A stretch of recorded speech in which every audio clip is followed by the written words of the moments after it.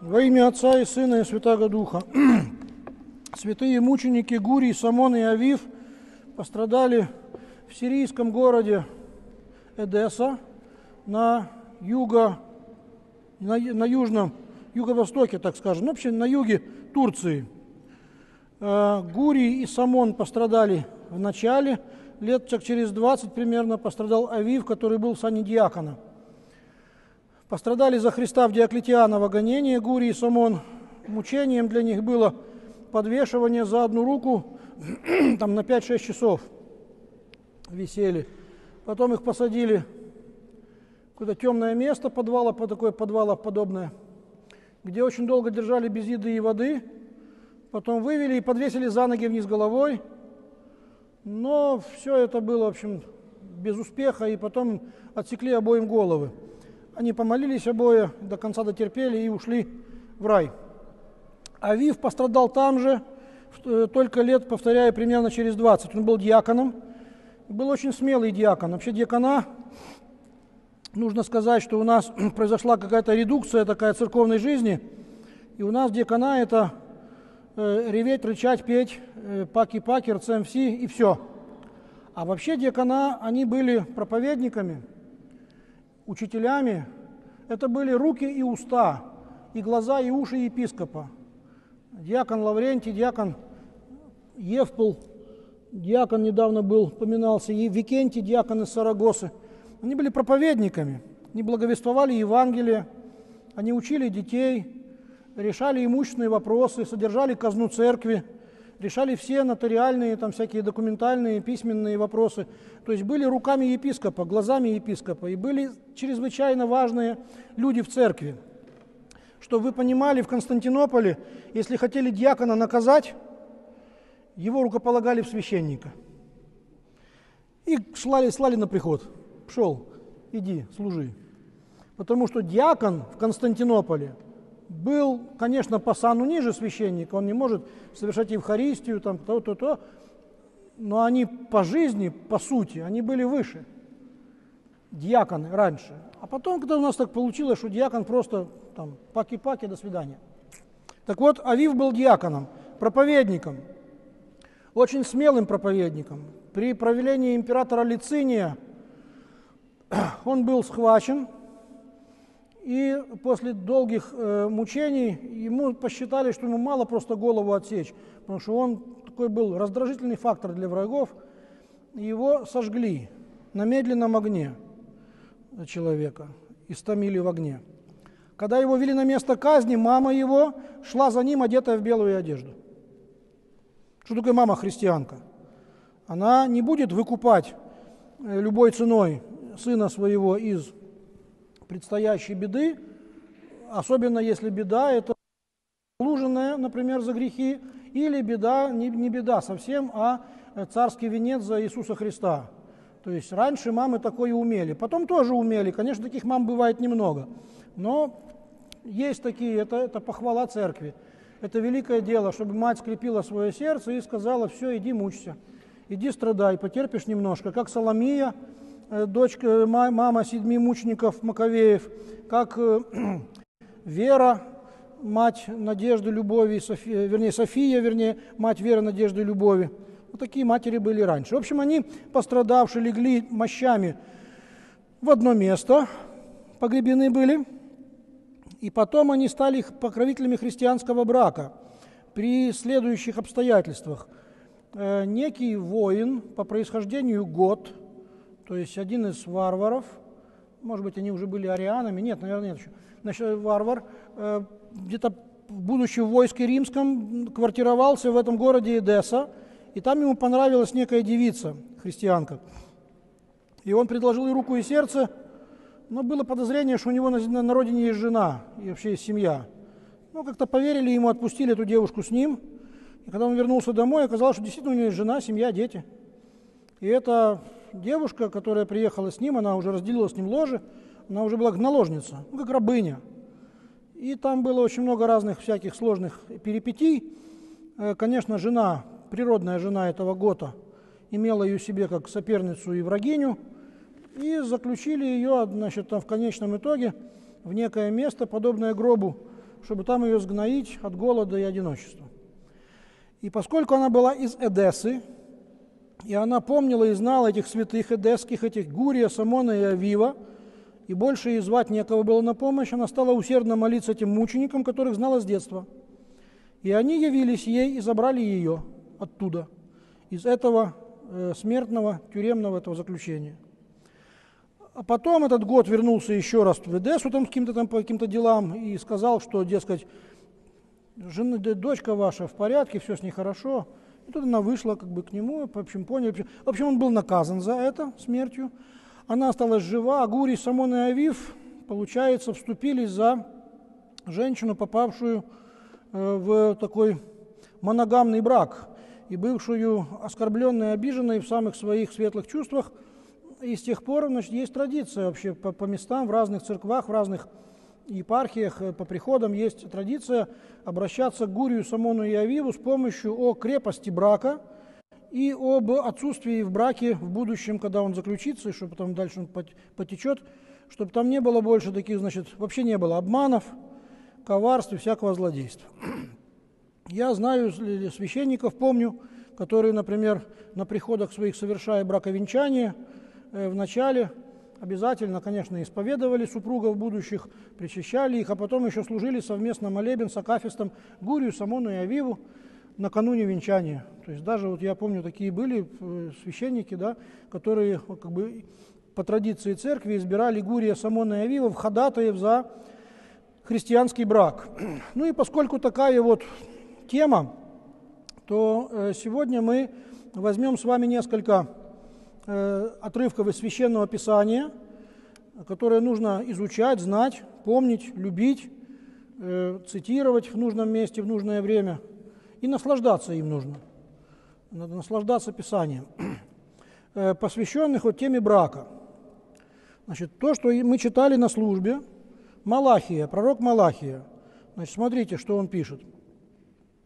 Вот еще что вы делаете – вы заставляете обливать слезами жертвенник Господа с рыданием и воплем, так что он уже не презирает на умилостивительные жертвы из рук ваших. Вы скажете, за что? За то, что Господь был свидетелем между тобою и женою, юности твоей, против которой ты поступил вероломно, между тем, как она подруга твоя и законная жена твоя. То есть во время апостола Малахии – очевидно, распространил. Это последний пророк из письменных пророков. После него книг больше не было, и несколько столетий, до 400 примерно значит, лет, уже евреи ожидали Мессию. Значит, письме, Писание больше не прилагалось к, к закону и пророкам. Значит, в это время, как видим, у Малахии э, написано, что у евреев распространилось такое даже не прелюбодеяние, прелюбодеяние описывается у Еремии. Он пишет, что каждый из вас – как откормленный конь ржет на жену другого. И добавляется вопрос, разве я вас не накажу за это? То есть блуд, он как бы постоянно присутствует в жизни всех народов в тех или иных пропорциях и вещах. Но здесь мы видим нечто другое. Это не просто блуд, это просто мужья выгоняли своих жен и брали себе других. И жены приходили в храм Божий и обливали слезами пороги жертвенника и ступени храмов, и это приводило к тому, что Бог не принимал, как пишется, жертвы умилостивления от рук народа. То есть люди приходят с жертвами, с дарами, с молитвами, с просьбами, и Господь говорит, а я не приму, и не хочу ваших этих всех молитв, потому что вы вероломно поступаете с женой юности твоей. Господь был свидетелем между тобою и женой юности твоей. Ты обманул ее, ты поступил с ней вероломно. Ты там выгнал ее там, и так далее, значит, такое. И поэтому жертвы твои не принимаются. Актуально это сегодня? Я думаю, что актуально. Потом, например, человек там бросил одну жену, женился на второй, бросил вторую, женился на третий, бросил третью, женился на четвертой. Это все очень даже распространено, это в порядке вещей. Некоторые еще пошутят, как бы, а он на женщинах женится. Да, ну по нынешним временам нормально. Некоторые на мужчинах женятся, как бы, то раз на женщинах, то в порядке, типа такой, ну, ха-ха, хи-хи, как бы так все проехало. На самом деле Бог не принимает жертву, не принимает молитву, не принимает просьбу и не хочет миловать людей, которые вероломно поступают с подругой юности своей как дальше мы почитаем, там, любезную ланию и прекрасную серную. Ну, значит, э, это такая тема актуальная для всех времен и всех народов. При этом евреи, мы вынуждены о них говорить, потому что они наши старшие братья в вере. Не все из них верующие в Иисуса, далеко не все, к сожалению, но много из того, что знаем мы, они узнали лет на 700 раньше. Значит, э, у них были разные духовные школы, и некоторые духовные школы максимально облегчали вопрос развода. Сегодняшние охамевшие женщины, не буду стесняться этого слова, хоть вы треснете от зависти и злобы, значит, там, хоть лопнете, как жаба, передувшаяся на болоте. Охамевшие женщины сегодняшние, они слишком уж совсем, как бы не, не имея ни совести, ни знаний, они говорят, что, дескать, нас поработило христианство, нам тяжело живется, нам жестоко живется в этом патриархальном обществе.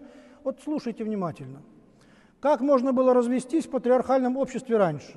Если жена зевнула, не закрыв рта на улице, ты можешь разводиться с ней в тот же день. Слышите, это законы были такие. Если жена пересолила пищу два раза в течение дня, разводись с ней в сегодняшний день. Если она посмела сказать кривое слово на твоих родителей, на родителей отца, ну, мужа, разводись с ней сейчас же, выгоняй ее. Вы знаете, почему на Востоке женщины часто носят на себе кучу-кучу разных украшений?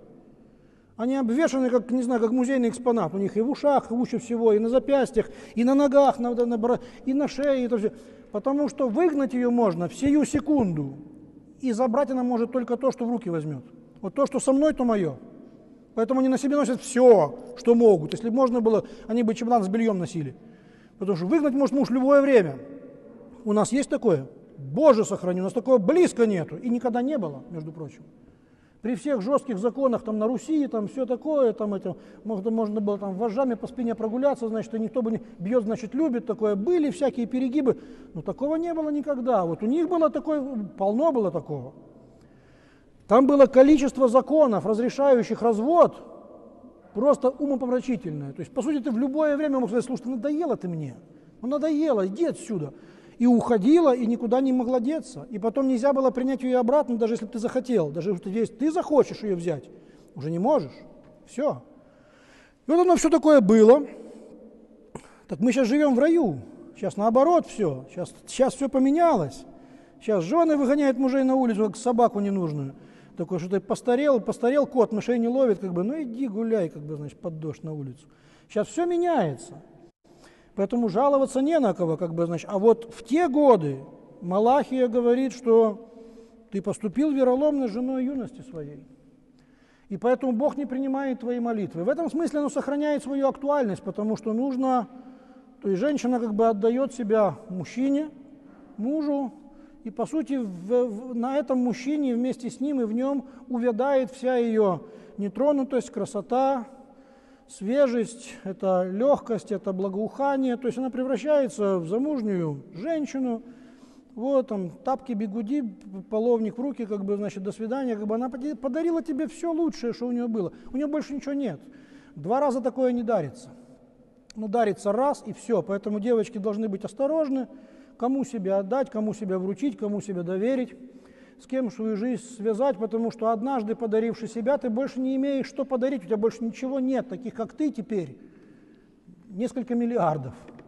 А до сих пор ты была одна такая, нетронутая, одна, одна моя. Вот теперь ты моя, все. Если вдруг вот это вот э, потоптать ногами, как бы, все, до свидания.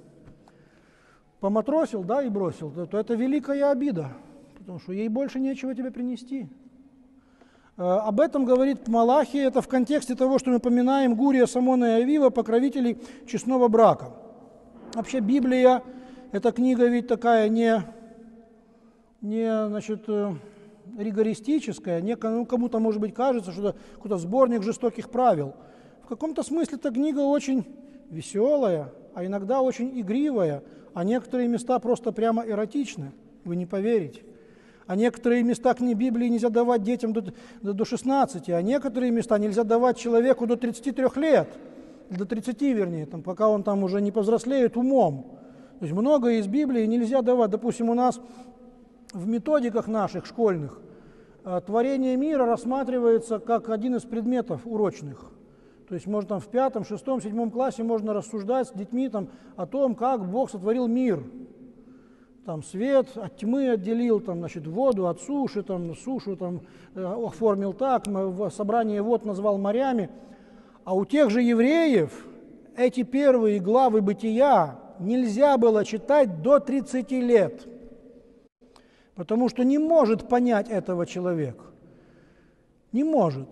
И нельзя давать ему ту пищу, которую он не может переварить. Все же грудного младенца, который только сиську сосет, кормить котлетами. Мы его убьем. Мы не просто повредим его желудок, мы его просто убьем, он задохнется, он не пережует эту пищу. А у нас в законе Божьем такое есть. Когда мы этому сопляку благословенному, который там, которому там 12 лет, мы ему там насыпаем на голову то, что вообще не вмещается в голову там 70-летнему старцу. Так нельзя. Надо читать не бытие, а притчи и псалмы в юности, в детстве, а потом уже потихоньку там, значит. А некоторые вещи, повторяю, просто нельзя читать человеку, который боримый страстями, там и не очистился от каких-то таких элементарных юношеских заблуждений. Вот сегодня я хотел прочесть, но э, на службе, но прочту сейчас. Смотрите. Сын мой, Соломон пишет, заповедь есть светильник, и наставление – свет, назидательное поучение – путь к жизни, чтобы остерегать тебя от негодной жены, от льстивого языка чужой. То есть, видите, если там у Малахии мы имеем женщину обиженную, э, брошенную мужем, выгнанную ни за что, из-за блуда и прелюбодеяния – то здесь мы видим некую опасность от чужой жены, потому что есть и такая опасность. Женщина не всегда жертва, женщина иногда страшный нападающий враг. Это известно всему миру, это не шутка. Не пожелай красоты ее в сердце твоем, и да не увлечет тебя она ресницами своими, потому что из-за жены блудной обнищевают до куска хлеба, а замужняя жена уловляет дорогую душу, Запомним это, под запоминание. Из-за блудной жены обнищевают до куска хлеба. То есть сегодня у тебя есть заводы, газеты, пароходы, только влюбись в блудницу. Через три года сам не поймешь, как будешь просить прикурить на улице у бомжа. И возле мусорника будешь ночевать с собаками бродячими. Из-за блудниц обнищевают до последнего куска хлеба. Я видел это лично, клянусь. Это правда Божия а замужняя жена уловляет дорогую душу. Замужняя жена – это значит жена, которая позволяет себе смотреть направо, смотреть налево, думать криво, кривое, желать худого и где-нибудь себе там ловить таки на всякий случай удовольствие. От мужа она уходить не хочет, нет. Но и блудить себе направо и налево позволяет. И вот эти замужние женщины – развратницы, то есть блудницы, живущие с мужем, так их назовем. Это, это Библия. Спорьте с ней хоть до умирания, не переспорите вы ее. Они ловят дорогие души. Может ли кто взять себе огонь в пазуху, чтобы не прогорело платье его? Может ли кто ходить по, по горящим углям, чтобы не обжечь ног своих? Тоже бывает и с тем, кто входит к жене ближнего своего – кто прикоснется к ней, не останется без вины. Не спускают вору, если он крадет, чтобы насытить душу свою, когда он голоден, но, будучи пойман, заплатит в, чет, в семеро и отдаст все имущество дома своего. Кто прелюбодействует с женщиной, у того нет ума. Тот губит душу свою, кто делает это. Побои и позор найдет он, бесчестие его не изгладится потому что ревность – это ярость мужа, и не пощадит он в день мщения, и не примет никакого выкупа, и не удовольствуется, сколько бы ты ни умножал даров. Это нужно прочесть на федеральном канале утром в 7 часов, когда все проснулись, и в 22.00, когда все отходят ко сну, потому что мы страна блудников, страна развратников с детских лет. Мы так сделали – что дети наши познакомились с порнографией, когда еще на, на, на каку говорили Гога и пешком под столом ходили. У них все это есть. И они томятся на медленном огне прелюбодеяния с ранних лет. А потом у нас женское тело доступно, только деньги заплати. Набери в компьютере и деньги заплати. Все легко, нет никаких усилий. Не нужно никого обхаживать, завоевывать, уговаривать, там, шептать, стонать, там, значит, звонить, петь серенады под балконом. Какие серенады? Заплати и пользуйся кем хочешь и как хочешь. Это наша цивилизация. Разве я не накажу за это, говорит Господь? Ох, накажет, и слава ему, когда накажет. А те, которые думают, что все так с рук сойдет, не сойдет, пока не покаешься. Это серьезнейший укор и тем, кто бросает жен своих ради секретарши, молодых всяких там девок этих длинноногих, значит, бессовестных, которые еще жизни не знают. Это укор всем тем, кто засматривается на чужих жен, и тем женам блудным, которые смотрят на чужих мужиков, и те, тем женщинам, разговоры которых подслушать без инфаркта невозможно. Есть такой, ну, не постыжусь сказать такой, хоть это и Амвон святой, есть такой анекдот про поручика Ржевского, как он случайно стал свидетелем разговора трех замужних дам и умер от стыда. Есть такое, сам слышал, краем уха. Соберутся две-три бабы, начинают такое обсуждать между собой, что проститутки об этом стыдятся вслух говорить. Вы знаете, что проститутки о сексе не разговаривают? Об этом пишется в любой книге, которая про них напишет вам. Им стыдно говорить друг с другом о том, что составляет жизнь их от утра до вечера, от вечера до утра. И они между собой говорят, о чем хочешь, только не об этом. Но есть такие замужние дамы, которые такое говорят и такое обсуждают с такими же замужними дамами, что шлюха, сидевшая бы рядом с ними, постыдилась бы. И это наш мир, это наша цивилизация. Такие люди есть во власти, в бизнесе, такие люди есть в культуре, в политике, в театре, в кино, и в быту, и везде, и по соседству с нами. Чтобы нам такими не быть. Храни вас Бог. Потому что нам, как положено святым, не подобает даже и называть по имени некоторых вещей, чтобы мы были святы от макушки до пяток и боялись Бога. А то, что было раньше, у кого что было, потому что не все же Бога узнали с детства. Кто-то к Богу пришел уже с седой головой. А то, что было, то, что, то, что совесть мучит, это все ваши слезы, ваши молитвы, наше покаяние. Вот еще одна глава, то была седьмая глава притч. А вот пятая.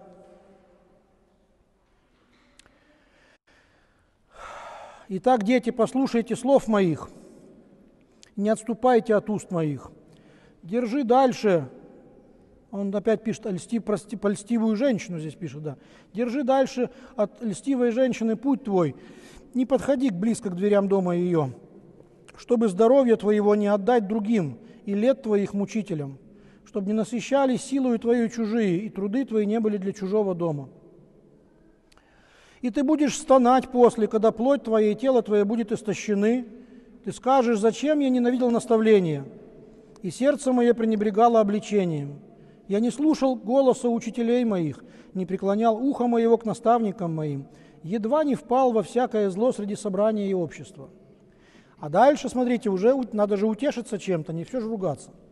«Пей воду из твоего водоема, текущую из твоего колодезя, Пусть не разливаются источники твои по улицам, потоки вод по площадям. Пусть они будут принадлежать тебе одному, а не чужим с тобою. Это о чем говорится? Сейчас узнаете. Когда апостол Павел пишет, написано, говорит, не заграждай рта у вала молотящего. И спрашивает, а в валах ли печется Бог? Нет, говорит, но о нас, проповедниках. То есть там не мешает человека, который говорит правду Божию. И здесь, когда про источник говорится, это не про источник говорится. То есть пей воду из твоего колодца, пусть не разливается она по площадям. Это про семя человеческое.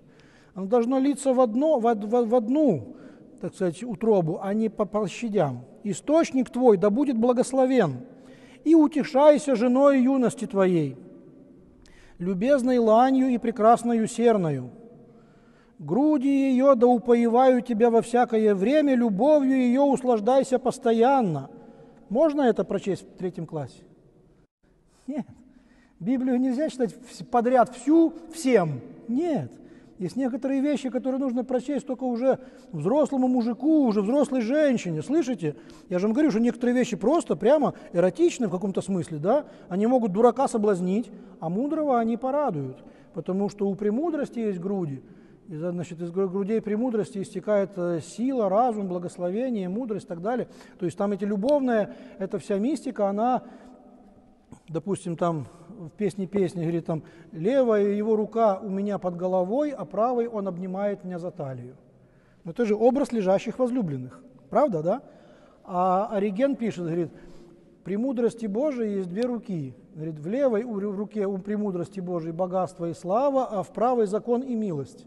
И вот левой рукой премудрость обнимает тебя за голову, и в ней богатство и слава. А правая рука обвивает тебя за, за, за стан, а в ней правда и милость. Говорит, вот он, он там это разбирает прям. Говорит, и кто думает, что здесь просто эротические образы, тот просто как бы блудник и глупец. Здесь все духовно, здесь все свято, здесь все с неба. Вот и здесь тоже. Здесь как красиво говорит. Это можно понимать и, пря и прямо, и аллегорически. Утешайся женой юности твоей. Дал тебе Бог жену, утешайся ею.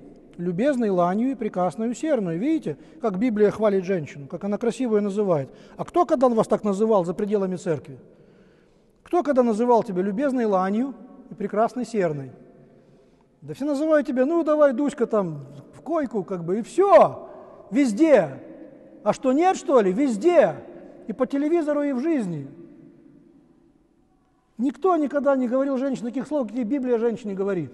И строгих, и красивых. Но теперь любой верующий муж может назвать свою жену на ушко шепотом любезной ланью и прекрасной серной. Это кто нас? Это Бог нас научил. Даже Бог, нау... Бог учит нас даже в любви признаваться. Представляете, какая красота? Сколько всего здесь есть. Для чего тебе, сын мой, услаждаться посторонней? Действительно, для чего? И обнимать груди чужой. Ибо пред очами Господа пути человека, он измеряет все стези его.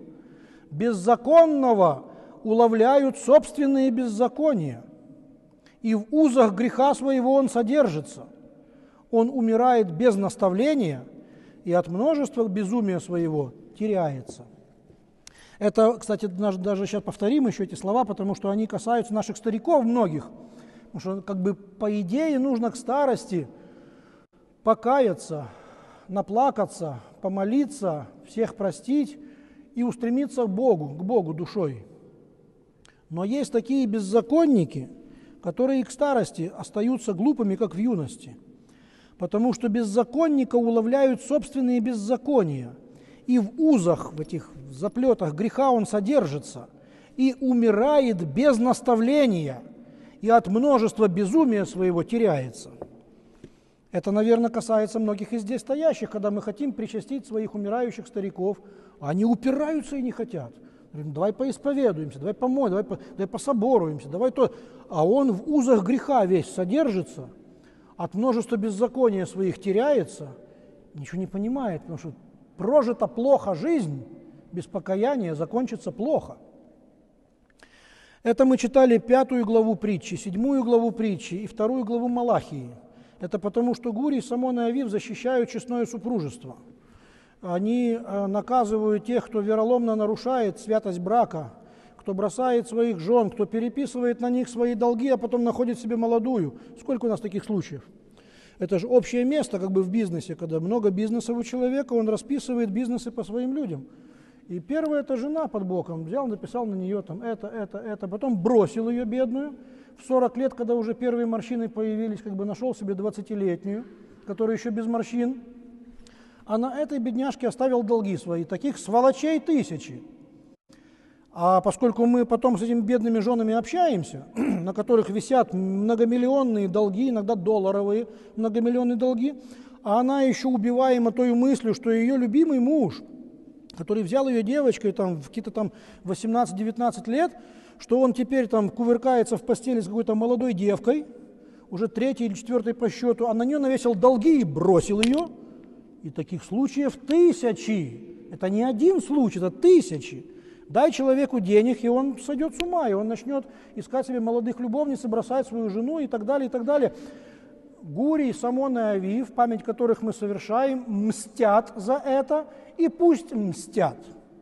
Кого нужно стереть в порошок, пусть стирают. Нам слишком долго приходится оправдываться в том, что христианство слабая религия. Все узнаете рано или поздно, какая это слабая религия. И те, кто любит Господа, те, кто не любит Господа, эти особенно узнают, какая это слабая религия. Как Господь будет ссекать головы с плеч идиотам, как будет стирать в порошок негодяев. Сегодня мы поднимаем очень важную вещь.